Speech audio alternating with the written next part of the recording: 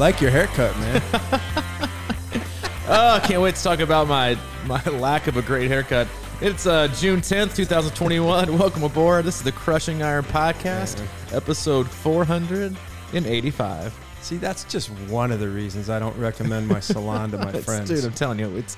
I'm gonna go into this in a minute. like long time bitterness. Here. There is. This is bringing. Our, it's right into our business relationship, our friendship right now. Uh, before we end anything, we'll get you started. Uh, again, welcome. Uh, welcome. Thanks for tuning in.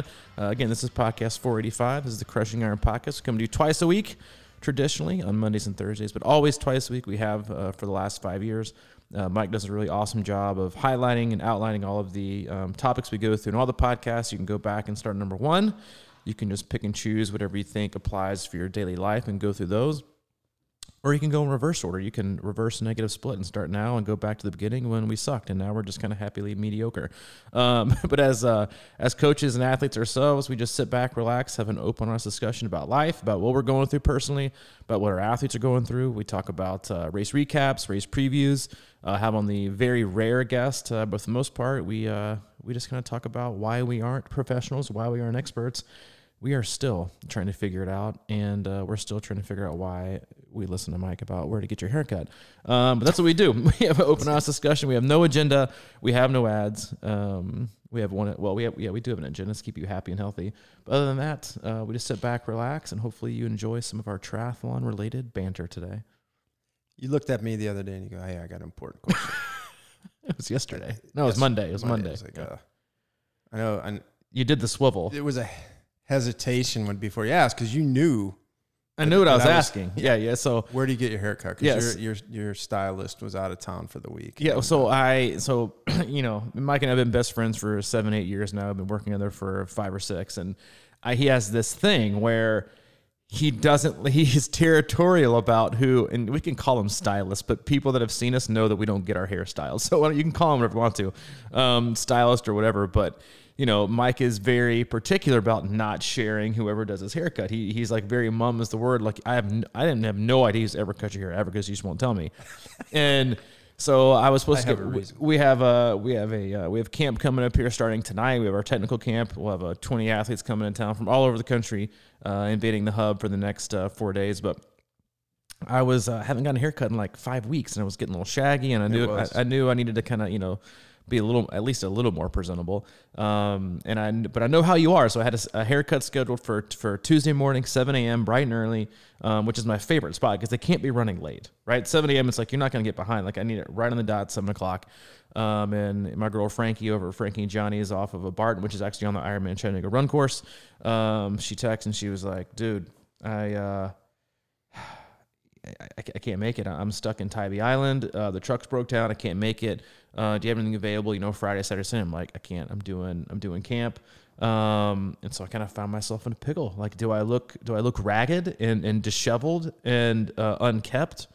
Which is what I think. thought how, I think how I usually look. I'm going for the an grunge look. runner, Yeah, I was. I was going to really get a did. flat I belt. like I'm going all trails. Yeah, I'm going man. all trails. Got my belt buckle, my uh, my handheld, Beard and, I, getting and so, long. so I knew I needed some help, and so I, I did. I, I- I I sat there in front of my computer for like five minutes. I was like, "Oh, God, should I ask him this or should I not? Because like things are going really well. You know, we're best friends. Our business is going great. Like, do I really? Do I really broach this subject, which is a you know a sensitive subject? So I got up the nerve and I, I, I leaned over and I was like, "Hey man, I got to ask an important question." You know, we, we our backs face each other. We I faced the window, faced the other wall, and he kind of did this like slow mo swivel around in his chair, and he picked up his glasses and he put them on, and he crossed his leg, and goes, and he could tell he was like a there was like a hesitation, like he was like, this is gonna be big. And he said, yeah, man. I go, I need to know where you get your hair cut. And it took him back. He like leaned back in his chair, and he was I think I could tell he thought about it for a minute. And then he asked me what my reasoning was because he, I think he, I think he wanted to make sure that I wasn't gonna like go fun. And I explained my situation. I was like, "Listen, I'm, I'm in a pickle here. I need, I need some help. Where do you go?" And I, for a second there, I thought you were gonna do me wrong. Like you're at the bar and like someone asked for a number and you're like, "Oh, for sure, here it is." It's like nine three one one two three four five six seven. Like you're gonna give me like the wrong person like to go to and be like, "Hey, I know Mike Chirali. He comes here." And, and then I get there in the chair and they're like, "We've never heard of him before." I'm like, "He got me. He told me." So, but you, you fessed up. You told me where you went. I booked my appointment. And I went I, before I even get into the haircut review. uh, and then we go into the actual meat of the podcast. Um, I just want to appreciate you um, sharing that secret with me. I, w- I won't say where it was because I don't want anybody else going there either and, and taking your thunder. I will respect the, your your haircut and your stylist anonymity. Okay, I'll put a note in the in the podcast as to when it actually starts. So if you're getting frustrated, you can look.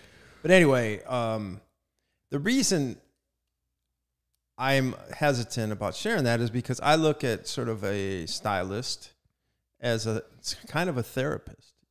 Oh, you're a talker? Well, When every once in a while, you know, you get relaxed, you get the massage scalp thing, and then and then it's like then you're starting to share shit that you know you might not normally share. And then if you're in the same chair with the same person, and stuff slides out of her mouth, and it would be like you could be getting, you know, So like you you won't recommend your own therapist to somebody. So do you- if we went to the same therapist, that would be bad. So do you talk about me at your like? Are you afraid they're going to say something about me that you've been No, talking it isn't about, me? you. It's you know just stuff maybe that you know I might tell her, but uh, Well, I, I can assure you, after my experience yesterday, I'm not going back. good. All Yeah, right. my haircut, I would rate it a five out of ten. Well, you didn't go to my style. No, I didn't. And uh, I'm sure you called ahead and was like, "Hey, my buddy's calling ahead. Please tell him you're booked like the next, you know, Oh, man. next year." So I I went in there and I got the. It's it's. I would say it's a five out of ten. Um, kinda like just I was not impressed. If I Frankie, when it settles, when the it- there's no settling. Here's my biggest pet like the peeve. shoe will fit better when you leave we'll the move- store later move- a few days. We'll move on to the meat of the podcast, and we will talk about triathlon and things in life that pertain to uh, to the rest of you probably. But my biggest pet peeve is if when you're going to cut somebody's hair, you either brush it from their face or you blow dry constantly, like you get it off their face. This quote unquote stylist basically treat like I looked like cousin Itt. Like all the hair came off the top of my head and covered my entire face. I thought I had like my grown up my beard again. And at one point I was like, "Can you just stop for a second? I need to I need to like wipe my face clean." So I took both hands up and like brushed off all the hair from my face, and then she got out um her blow dryer and put it on like the zero setting and like misted, you know, it was like it had the the breath of like three fairies on my face and just slightly dusted it off. And I was like this didn't this just moved the hair. It didn't remove it. It just moved it around my face. Got out. She was like you want me to take my card? And I'm like fine. Let me put it in my, my wallet so I can throw it away when I get to back to the hub. And I walked back in the hub to wash my face. My ears were covered in the hair. Biggest pet peeve. Always remove the hair. It's, it's just it's just a standard.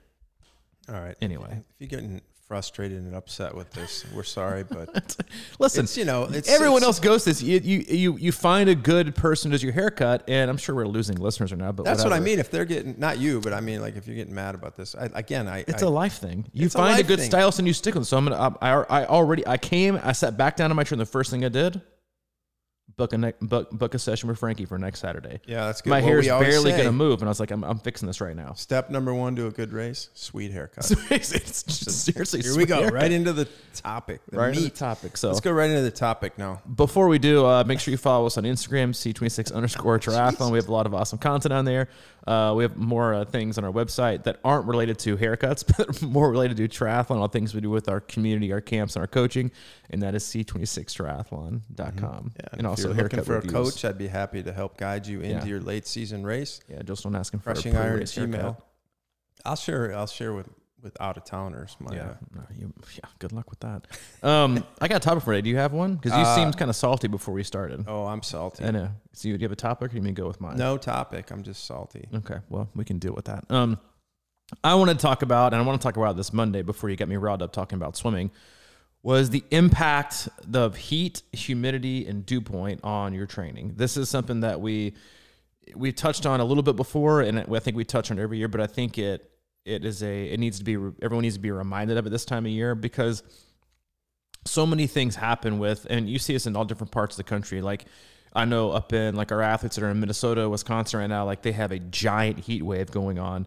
And there's like a couple things, a couple directions we can go, but a couple things I want to highlight. One is just how you should train in the heat, how often you should train in the heat, uh, the kind of fueling and nutrition you need to pay attention to when training in the heat, and do you need to, you know, because here's what happens. We talk about this all the time. Like athletes like to go to the extreme.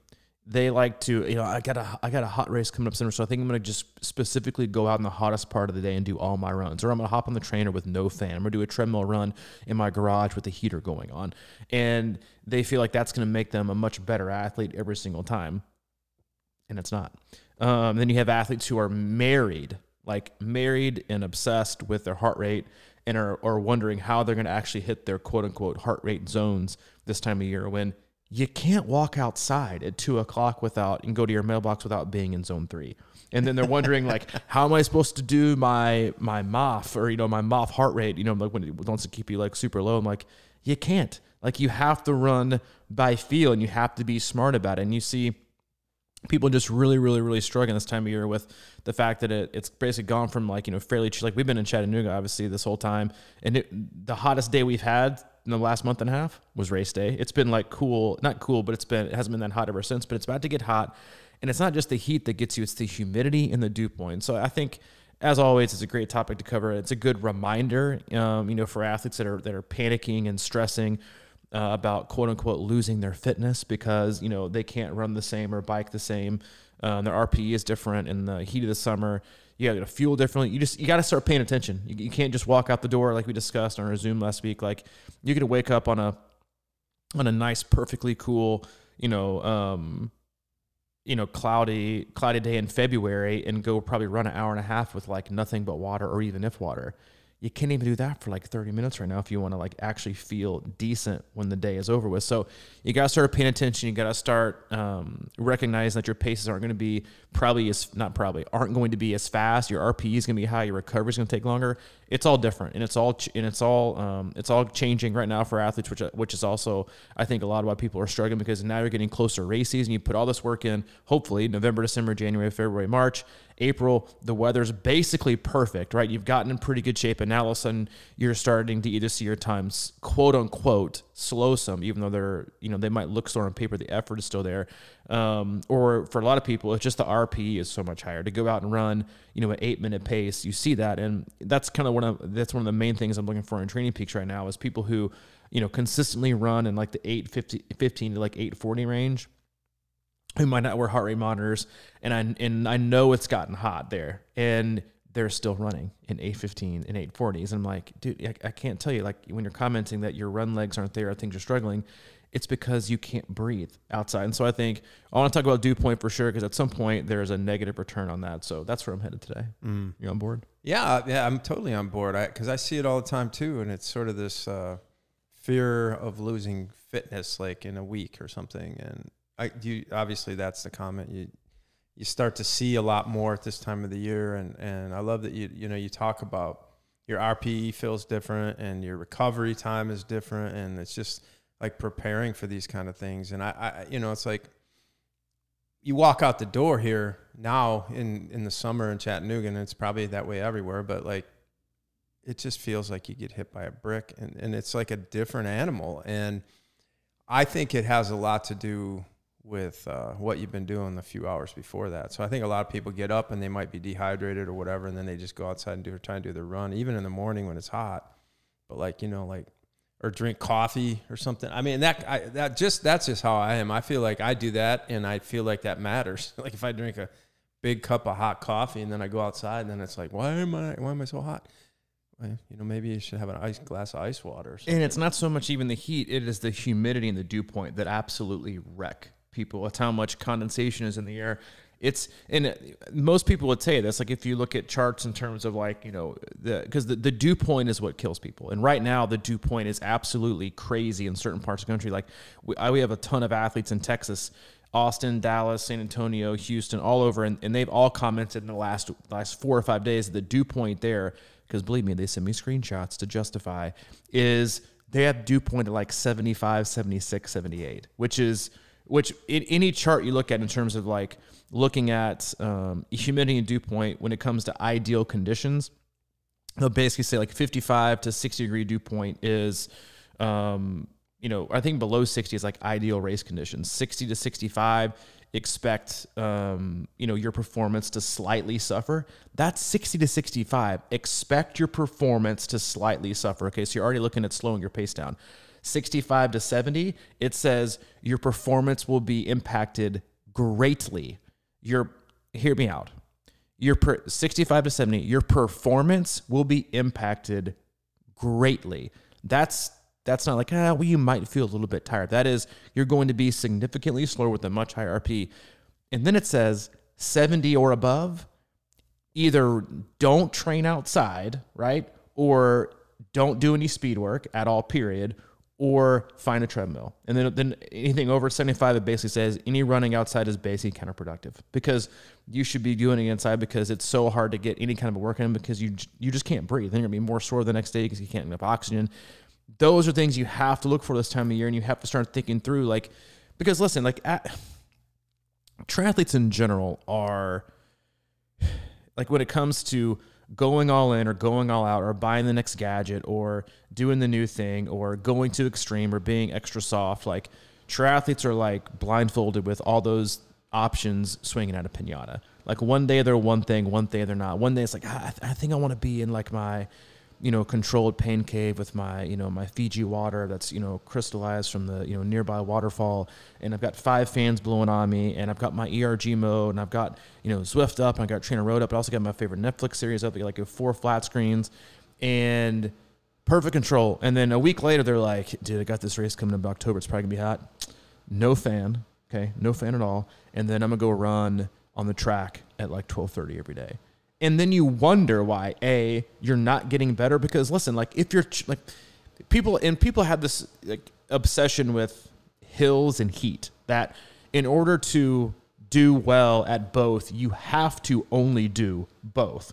But the fact of the matter is is that fitness and being able to perform well is the number one indicator on how you're going to do well in heat. If you take a person and we same thing with hills it's the fitter you are. It's not. It's not that your body. Uh, yes, there's. Or is there? Is there a different you know uh, style and, and technique that goes into climbing hills? Sure, but guess who's gonna guess who's gonna make up the hill fastest? The guy who's fitter and stronger and faster, not the person who only did hill repeats for the whole entire year. Like if that person's generally still slower, he's still not gonna be faster than the person who's just incredibly fit and trains right away.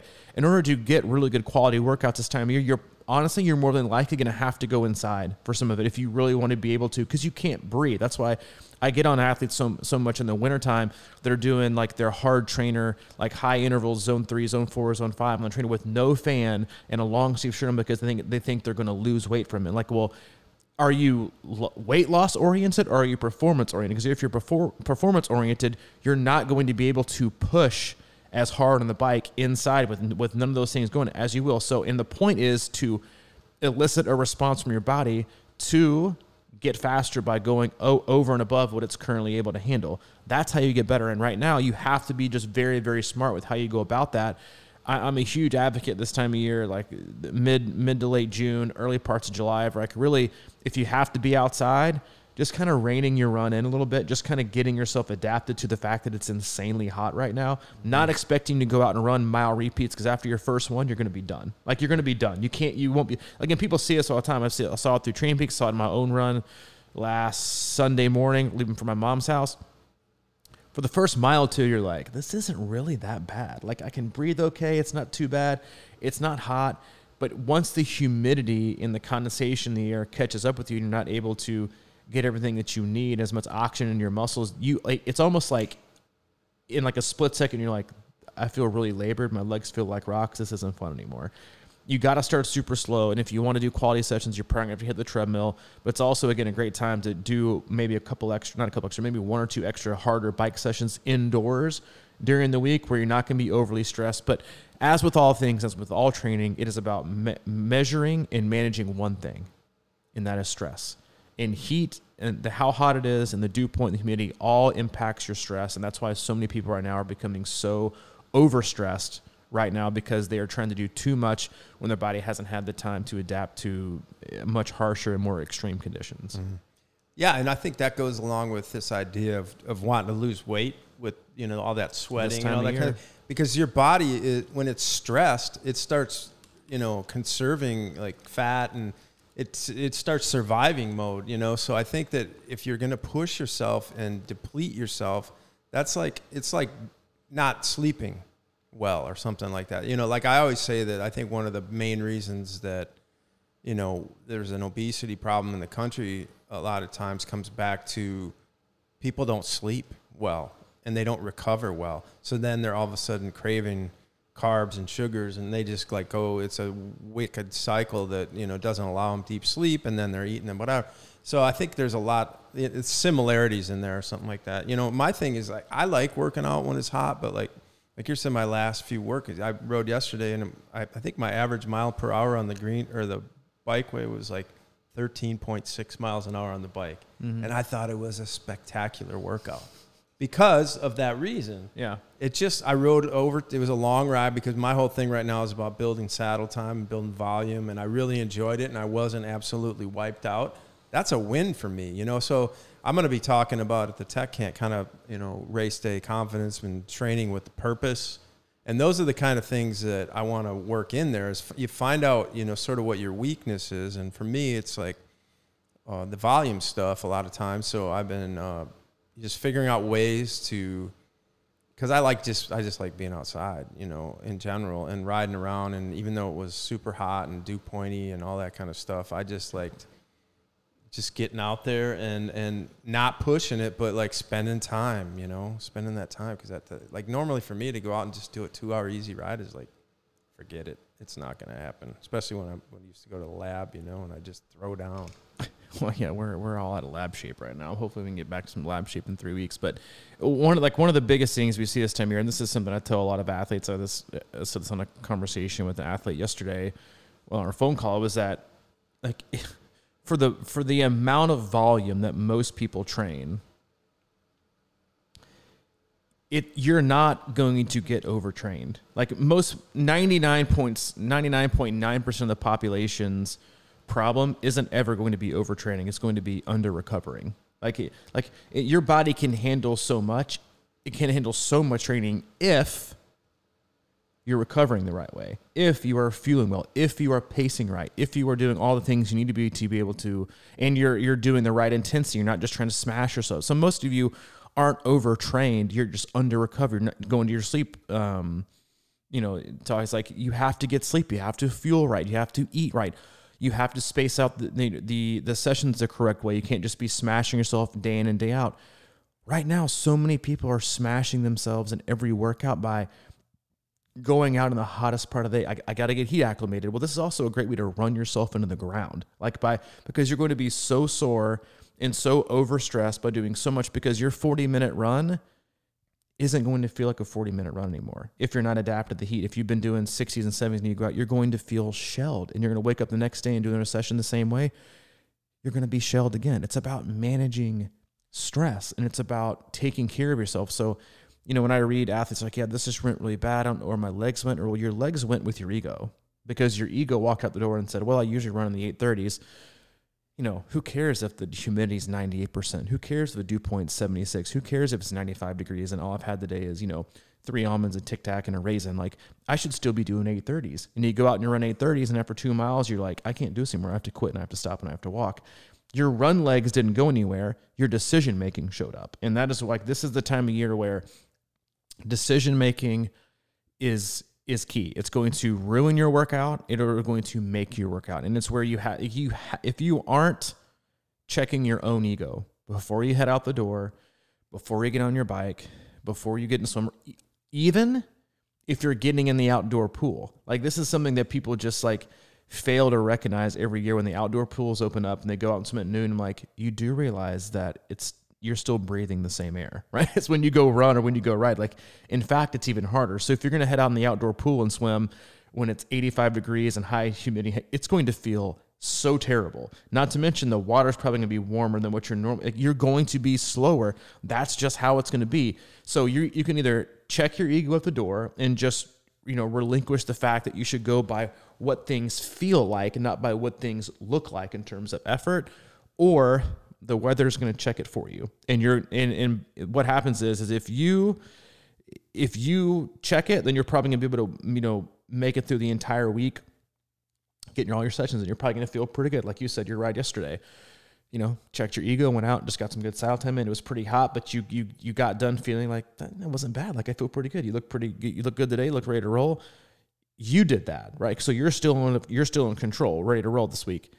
If the weather makes a decision for you, the next day is going to suck, right? Or you go out and you, because I've, I've had a lot of athletes who, you know, they rode long or rode or, or ran hard this weekend and it was too hot and they underfueled, they're just now, uh, some of them even come and say, like, it's probably going to take them another day or two to, to get back what the, the hole that they dug by obsessing over a pace or a power and, and also not fueling like they're gonna have like they're still digging themselves out of that hole. So the one workout you thought was gonna be great ended up being way too much, and the next four workouts have suffered. So you have to continue to look at things that way, how they all connect, how they all overlap, how they complement each other. Because if you make the decision, you can stay in control of that. If you let the weather make the decision, and you kind of get you kind of bonk or you get kind of slapped in the slapped in the mouth, um, it's gonna take you some time to kind of get back. And it's gonna be discouraging and frustrating. Yeah, that that really dovetails perfectly into the question I've been getting a lot because um, a lot of people haven't raced in a long time and they may have a half coming up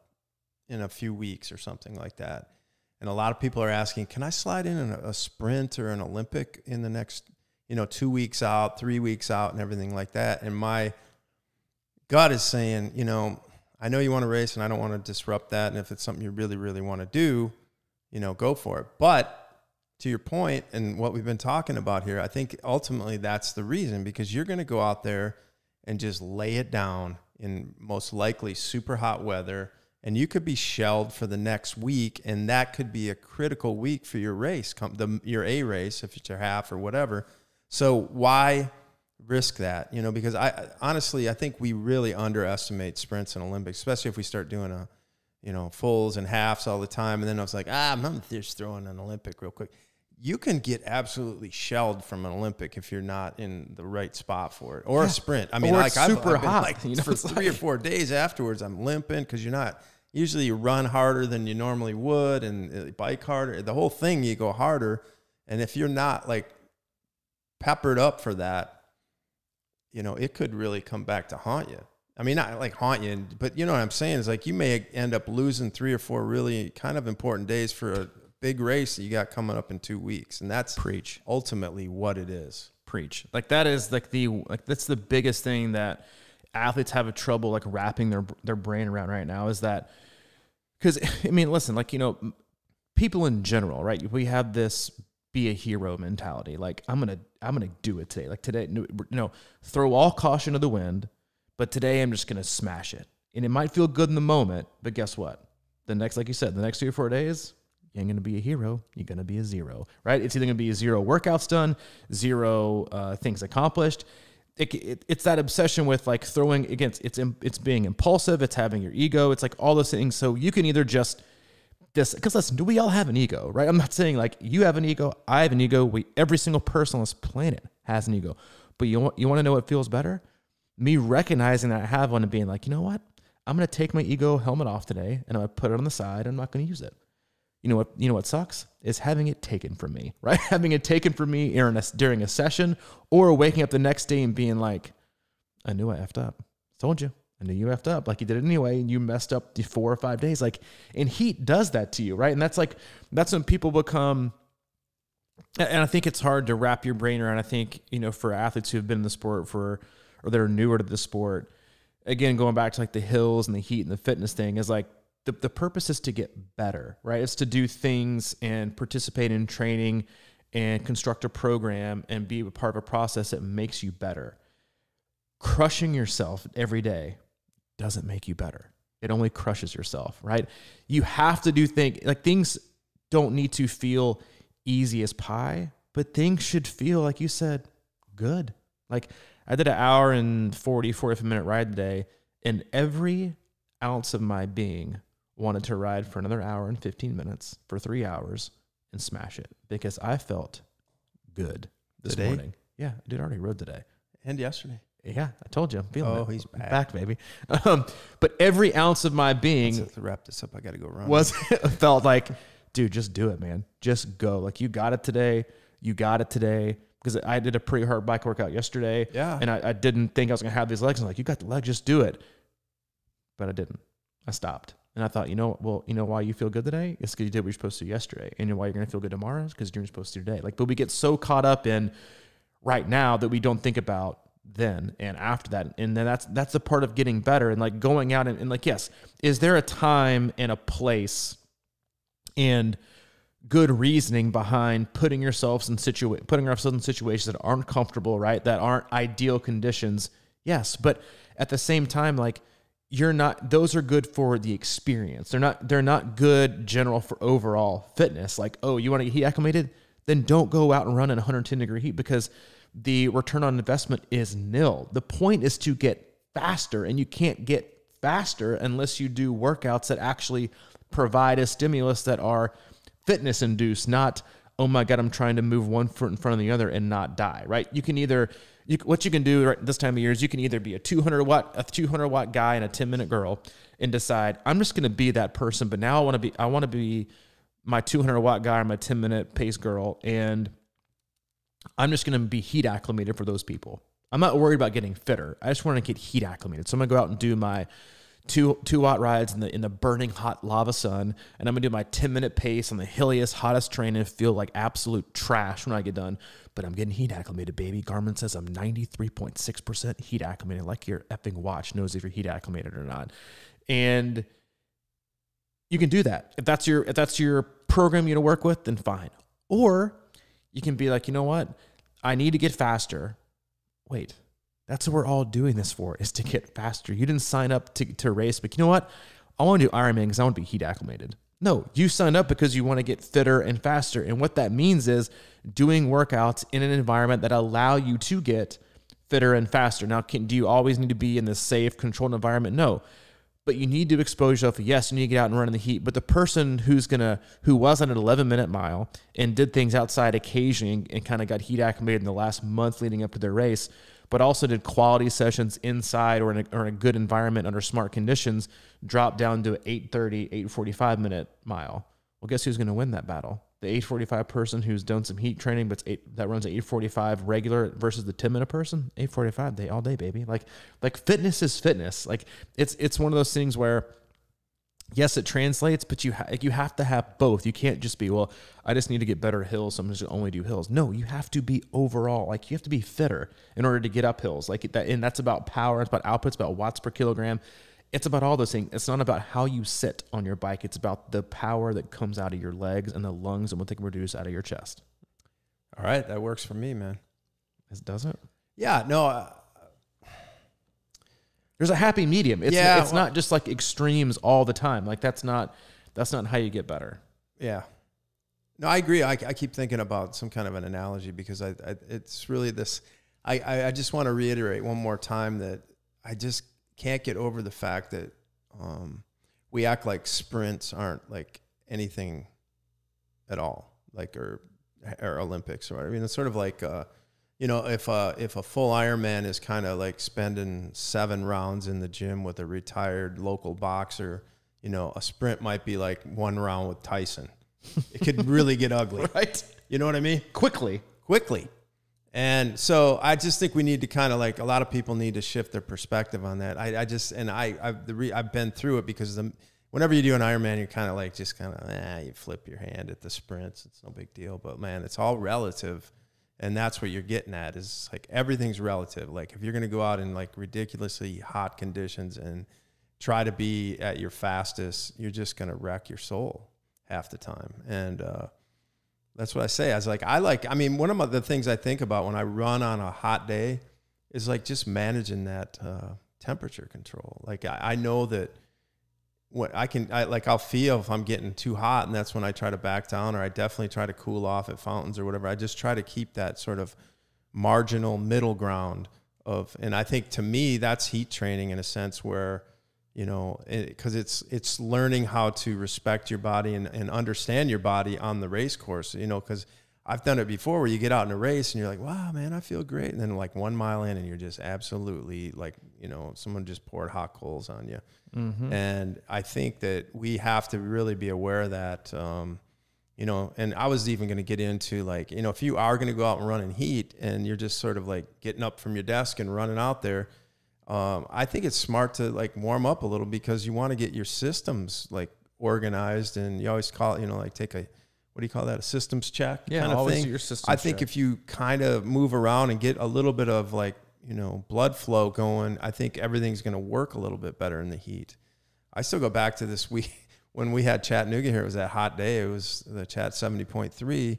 That morning, I had like we slept in a super cold hotel room, and and I was drinking a little water that morning. I was freezing for like the first two hours of that morning until the sun came up, and then I just remember because it was so hot. I was walking, you know, I walk around all over the place with that backpack on and Getting those selfies, whatever. baby. And I go and I go and I go and I was walking. I don't remember getting that hot that day. So I mean, it was just sort of like I set a tone early on in the day where like I had sort of kept my core. I know I wasn't running, but I was still hiking up hills and going all over the place. But I just think there's some. I I just want to throw that out because a lot of times people can, you know, understand something a little different. But I, I think there's a lot to be said for prep for whatever run or training you're going to do you know like just to set yourself up whether it's eat the right foods or eat the right time or you know make sure you have enough hydration. If you don't go out there dehydrated in the morning because that's going to be like i think that'll come back to bite you you know.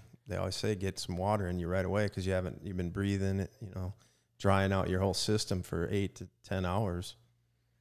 The I remember like I think it's like two years ago, maybe a year ago. I was reading, I was doing some research on heat acclimation or the because there's so much more research now about training in the heat and how it's similar and sometimes even better than training at altitude. Um, and they elicit the same response. And I remember coming across an article by Alex Hutchinson, who do, he's like the sweat science guy, incredibly brilliant guy, way smarter than me. I think he has like a PhD, which is three letters more than I have after my name. All I got is a junior. Um, and uh, and he they were doing on heat stroke. They did like the Nike project, like Project One or whatever. That's they're the guys like they did like a um, a study on like heat because they're trying to figure out the best time of year, the best place, the best conditions. Obviously, like you know, break two hours to the marathon. And what they found was is that running faster got you there quicker over shorter distances, right? So you're actually like to, and to actually like have like a heat stroke or get in like the danger zone of like you know, um, you know, it, the, getting the chills and just having overall like a really bad situation going on with heat stroke. It was they found that it was more likely to happen at 5K and 10K than it was at a half or a full marathon. Um, Oh, and, the- and the reasoning the reasoning is one, obviously the faster you're moving, the more heat you're generating, right? And then you're going so fast and you're you're not doing what we always advocate, which is you're not doing a systems check.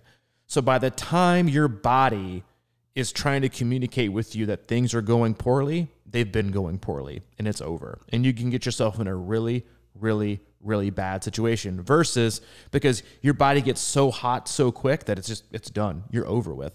Versus a half marathon or a marathon, you're conserving your no matter what pace or effort you run, no matter what speed it is, to you it's the same effort and same percentage. The delay is so much longer. You'll have those warning signs of, oh, okay, maybe I need to rein things back in. Like this isn't going very well because you're not putting, you're not exhibiting, you're not putting out as much heat because you're not going as fast as you normally could and you're already pacing it differently, you have more, time to get in more water, more fluids versus like coming out of the gate and like just absolutely trying to demolish it. That's what people do right now, right? They head out, they head out the gate and they just absolutely just go for broke or they make bad decisions. And before it's over, it was over before it was over. Like it was over 10 minutes, or you just didn't know it yet. Like that, that is always what happens this time of year because there is, there is no, uh, we use this, you know, in terms of like pacing and effort and energy expenditure in the marathon. And we talked about it before Chattanooga 70.3 was the only way to, to cool your core temp is to walk. There is no running and cooling at the same time. Like you can you can mitigate the damage and the amount of stress and you can try to keep it slightly under control, but in order to lower it, you're to have to walk, baby. And by walking, you're negating every single bit of speed that you took cuz even walking for 1 minute, 2 minutes, 3 minutes after running for 10 miles is the change of pace of like 15 to 20 seconds per mile. That you could have just like you know chilled and be able to, and now you're, gonna, now you're gonna have to walk the rest of the time. You're not gonna just cool yourself. You're gonna go right back up again and right back up again. Your heart's gonna spike right back up again. So like those are all these things that you have to be aware of this time of year. And and to be to be honest with you that's why I also think and it was maybe maybe counter intuitive but that's why I also think this is such a great time of year for people to like rekindle their spirit and their motivation to get out and train because you already have this like overarching theme of I know it's not going to be pretty. I know it's going to be ugly. I know I'm going to have to go super super super super slow because it's so hot. So you're not walking out the door with these expectations that are, well, I used to run, you know, like in the eights. Now I'm in the nines. Got to chase it. It's like, dude, it's hot. Like it is straight brutal outside right now for so many people with the humidity and the dew point. It is impossible to run your best. Like I think, like wrap your mind around that for a second. It's impossible to run your best, to bike your best with the humidity over 90 and the dew point over 65. It's not going to happen. So walking out the door with expectations that are based on perfect conditions are only doing you harm. Same thing goes for obsessing over what your wrist heart rate data says because you've got to stay in your MAF zone or your heart rate zone. Like, good luck running this season because you're not. You're going to be walking. Like, you're generally going to just be walking because it's going to be so hot. You're not going to be able to put one foot in front of the other. So you just have to think about it and be smart about it. But, you know, we, we listen, at this day and age, we're creating more and more and more and more athletes who don't want to think about it. They just want to do it, you know, or have it set out in front of them and have things where we don't have to think or troubleshoot. We want it laid out, and that's just not the case. Yeah. That that just makes me want to reiterate the thing that I always talk about with uh, the t- the time, like warming up and getting your body ready to do what it's going to do. Because like if you just jump in somewhere cold and and use the actual race as the warm up, for example. So it comes back to, for me, uh, some of my better races, uh, the, the, the idea of warming up a lot before you swim. Because if you get in, that's the one place you can go from like serious zero to 110 in like one minute because you're freaked out or whatever the case may be. But if you're already halfway up there and you're warmed up and your engine's ready to go a little bit more, you're not going to get that extreme anxiety press that I think happens naturally in the body. It's like, oh, what are you doing to me right now? I was just chilling on the side talking to your friend, and now all of a sudden I'm at like at 110%. And then the other one is off the bike. I mean, because I think once you get on the bike, you know, you can kind of, a lot of people, you know, some people definitely go out too fast, most of us probably, but you still, you have such a longer time and you have, it's easier to f- hydrate and you can kind of contain yourself a little bit more and you got a long long time so you can adjust or whatever but then if you get off that bike and you're kind of feeling like you just got out of a windy day and then that heat hits but uh, that's why i say is like you're saying is like you can't just come out at your like the your race pace and when it's hot out like your ideal tri uh, tricalc You race gotta pace you're gonna get slow. Like you're like that's, but that's what that's So why. hard. Yeah, at Ironman Chattanooga, what are you gonna find our coaches yelling at you? Slow down, right? Because come like you said, like coming off the bike, you don't realize how hot you are because you got a you know 16 to 22 mile an hour fan blowing in your face that is the wind you're creating by going that miles per hour. And then you get off the bike and you're like, oh my God, I'm like pouring sweat, right? And your heart rate, your heart rate and your core, and your core temper are already way up. And you go out those first few miles and then you're all of a sudden, guess what? Coming out of the gates, too hot. Literally too hot. Like you have to give it time. Then you see people just before they even make it around to the pedestrian bridge a second time, walking. Day is done. Way too hot because you came out too hot. Like I've literally never heard a single athlete ever, professional, age group, whatever, say, you know what, man, it was hot that day, but I think I came out of the gate too slow. I was really able to, you know, I picked it up great the last 10 miles and everybody else was walking, but I think I could have, I think I could have gained another 30 seconds by coming out of the gate a little bit. No, everyone was like, thank God I didn't come out of the gate too hot because I had it at the end when everyone else didn't. And that is, that's playing, that's having confidence at playing the long game. And if you don't want to take it from us because we're not experts and we're not professionals, take it from a guy like Steve Magness, who is like one of the best running coaches in the world, um, which I always find fascinating. Like the greatest swim coaches on the planet, right? That deal with the Olympians. They don't wear a heart rate monitor. They don't wear a Garmin device. They either don't wear a watch and go by the wall clock or use a stopwatch on deck. The best running coach on the planet use like a clipboard and a stopwatch. They're not running with like power on their shoes or obsessing about heart rate or whatever it is. They just run by feel and they go by stress. And he said, uh, and this goes for a lot of people. He said, um, just I think two or three days ago, I was having this conversation with Megan Rogers, who's in San Antonio. Um, he said, a reminder that heart rate is pretty much useless in the Houston summer. This was a run at eight minute pace that I did, yet my heart rate was in zone three and zone four. Why? Heat and humidity. If I went by my heart rate zones, I'd be walking. That's why I tend to go by feel. Data needs context. Don't blindly follow it. And that is like what more and more athletes do right now is just blindly follow data or their or their assumption of what the data should be and not thinking it's not even thinking out of the box it's just thinking with like common sense logically that it's it's going to be hotter. It's going to be harder on you. Like that's that's just a fact of the matter. Um and but people who want to obsess over the you know like, like that's why a lot of people don't get better honestly over the summer because they obsess so much about what their heart rate says that yeah do you want to be having it sky high like 190 the whole time? No because that's not gonna you know be good for you either. But at the same point they're like i want i can't i can't fathom why i'm not getting any any faster over the summer you know having to walk most of my run wait a minute you're having to walk most of your runs? Like then go run right? Just ru- even running slowly is better than not running at all. Like but you're you're uh, you know or you're going off what your garmin says is you know overtraining or undertraining or what your heat like your watch has like literally no idea who you are. Like it has nothing. Like it, don't, it, know, it knows pace it knows distance it knows time. Don't give your garmin so much freaking credit. Like that's about all it has I love my Garmin, by the way. Like, to, you know, I, I love it, but it's that's all it tells me. Is it doesn't tell me how I'm feeling. It doesn't like I scoff at it when it's like overreaching. You know, 39 hours to recover. I'm like, I can be, I can go back to the pool right now, and I feel great about it. Like, Yeah. it doesn't it doesn't tell you it's, anything. it's definitely uh, it, yeah man i just look thinks back to like when we occasionally will have running off the bike or something like that. And uh, i always tell people that's a really good time to practice kind of containing yourself you know rather than getting off and flying for because it's usually a short run or whatever. And it's like i always think of that as an opportunity to practice getting off a bike in the beginning of the run.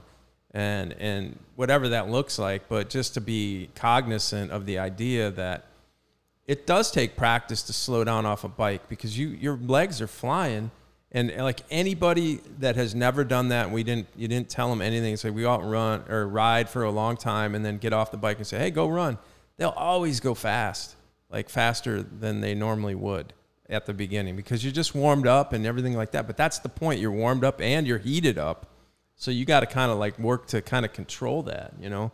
Uh, that's another thing I've been doing. My, any of my runs outside these days are just all, yeah. My and you're right. My heart rate is like, it's like a little bit up there or whatever. But uh, the whole thing for me is like just finding it that pace where I'm breathing through my nose usually or easily, and I feel like I'm just like I'm I'm like totally training to find my zone two sweet spot in the conditions. You know what I'm saying? So it's like it's not about anything to do really with pace. I'm not even really looking at my watch that much, but it's funny. I am though. Like over time, I'll glance at it, and I'm usually in the same pace, but I feel excellent. So I'll, you know, a lot of times I'll stop and walk for a minute and just kind of keep it under control and things like that. And then, but I really like this idea of no matter what the temperature is or whatever, you just kind of like listen so much to your body and feel it out and know exactly that you're like in all day sort of pace. And that's it. When you can solidify that, I think you're really doing something.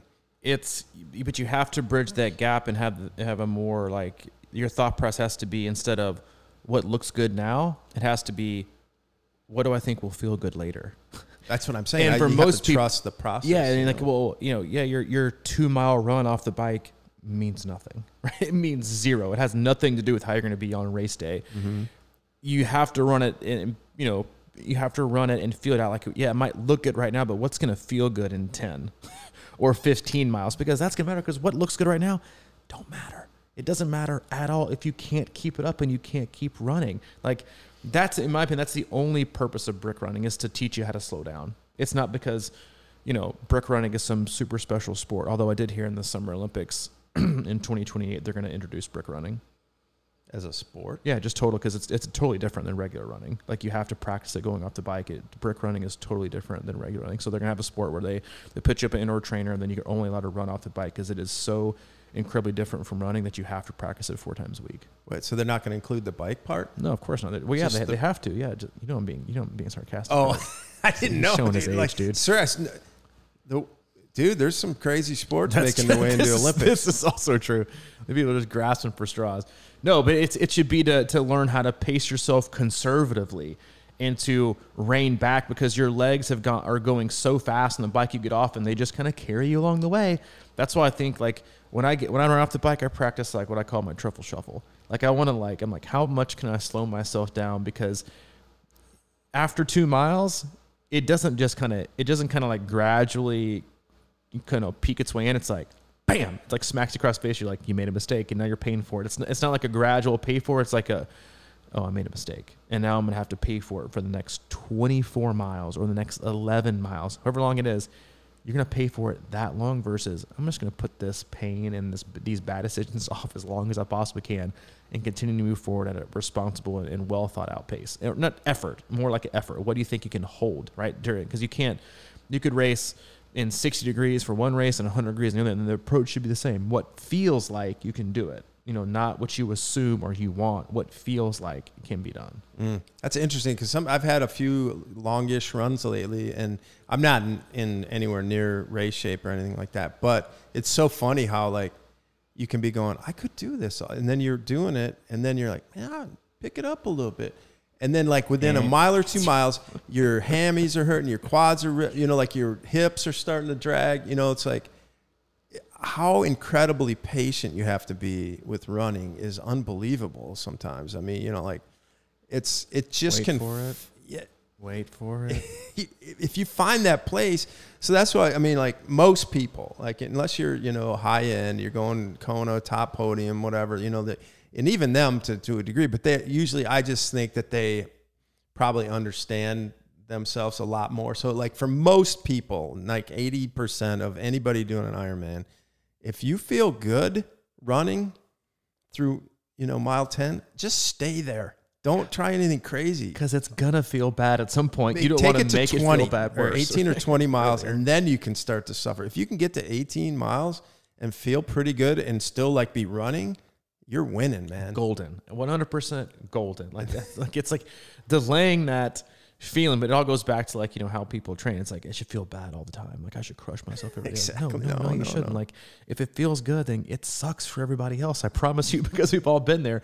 But it's like you don't because eventually, even no matter how well you pace it, at some point, it's gonna suck. Yeah.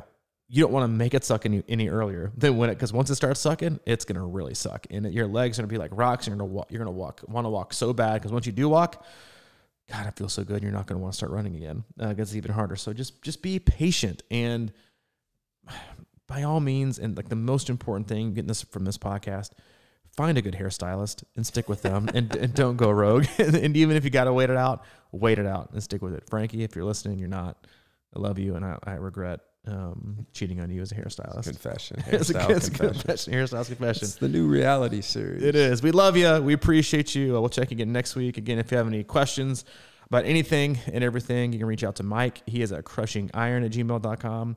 If you need anything from me, I'm at c26coach at gmail.com. If you want to more uh, know more things about our coaching, our camps, our community, and even our awesome club program that's going right now, you can go to our website, c26triathlon.com. Um, our club membership has picked up a lot in the last week or two with races full on. Um, I think all of our coaches, except for myself, have a lot of uh, slots open right now. So reach out and we'll put you with the right coach and uh, hope you your year. All right, buddy. Let's get the let's get on that tech camp. See ya.